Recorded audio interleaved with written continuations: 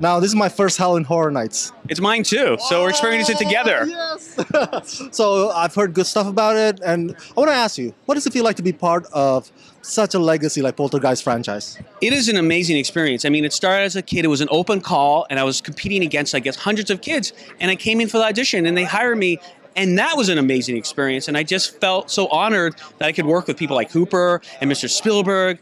And I saw the movie and I said, this film was actually really good. I remember the first time I saw it. And I had no idea at the time that it was actually going to become the iconic film it is today. Yeah. And this just this is just kind of surreal and amazing all at the same time to see this film become a maze. Did you take any props home? Did you who, who took TV home?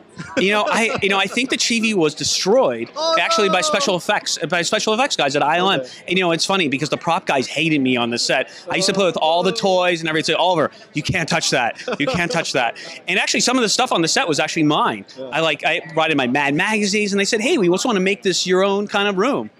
Now, what do you hope to see in the Poltergeist maze?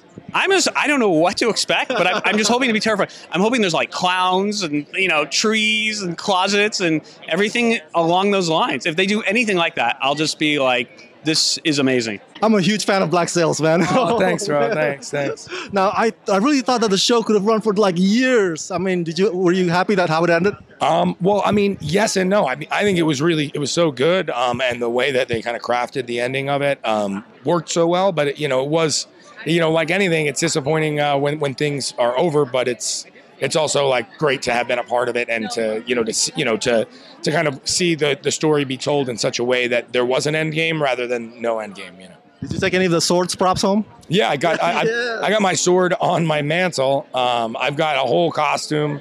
Um, I've got the Ranger flag up on my mantle as well.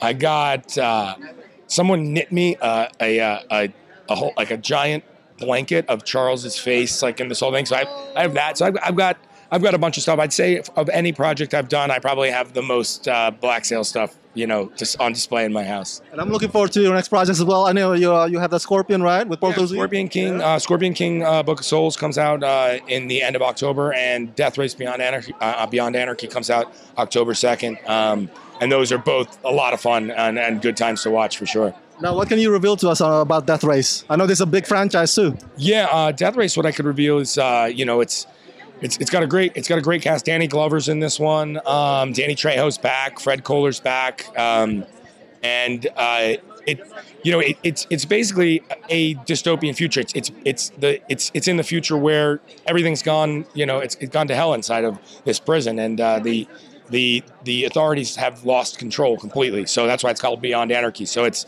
it's it's unrated, it's unhinged. I mean, there's a lot of you know if you're if if you don't like violence, I wouldn't you know I don't don't tune in because it's it's very violent, but it's really awesome. And uh, it's the first time I got to play the lead in an action movie, so yes. you know it was a really special and uh, and awesome time for me.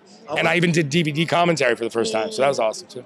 Well, well, can you reveal a bit about what the car can do? Your car, the custom car. Yeah. So, um, actually, what's cool too is there's there's actually a scene in the movie where we build the car. Um, wow. Yeah. So, I, you know, it's a you know we got to do a lot of that. Um, I drive a I, I drive a Camaro in it uh, actually, and uh, you know, there's the the monsters still in there as well. Um, you know, and and Frankenstein's there as well, yes. and uh, and so it's it's it's quite a face off. You know, it's quite a face off. You know, I, I can say for all of us fans of yours, uh, that we're looking also looking forward to Scorpion because we can see your six pack abs again, my friend. Uh, yeah, there's.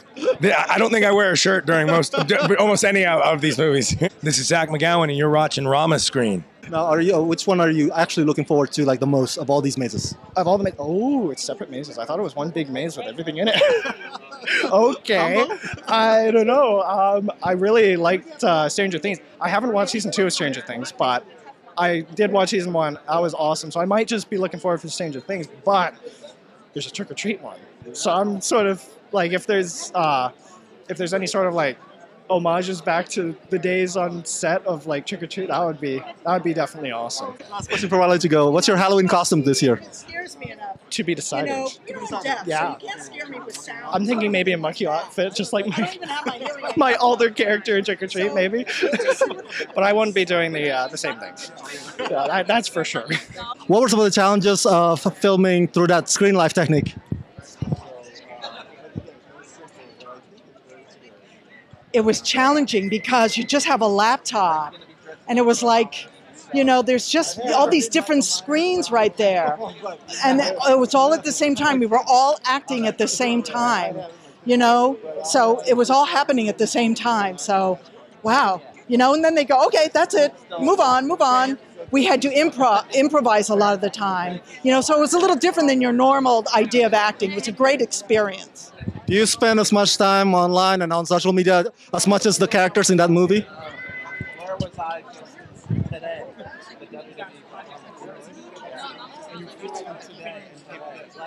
No, no, no, no. I get tired easily of all that. Yeah, I can't stand it. You know, I some people who play games all day, all night.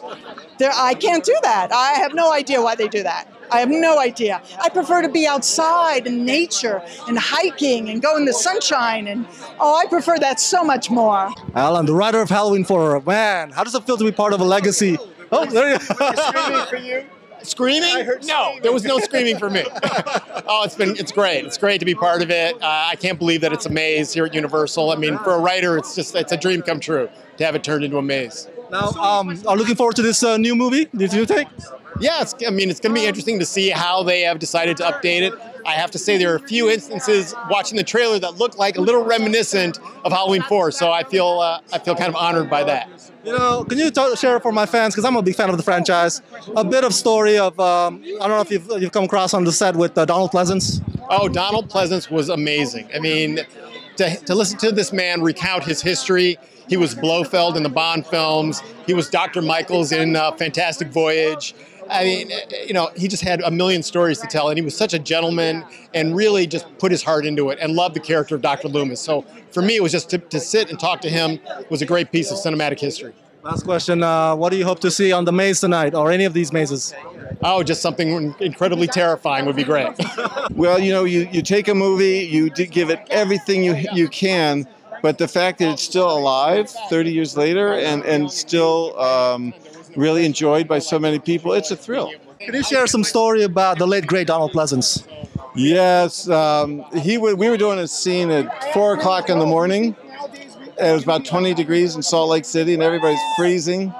And we did a very complicated scene where he sees Michaels everywhere. There's Michaels all around, and we shot almost the whole sequence. in the and the script supervisor realized he had his hat on because it was so cold. Yeah and so we couldn't we couldn't use any of it.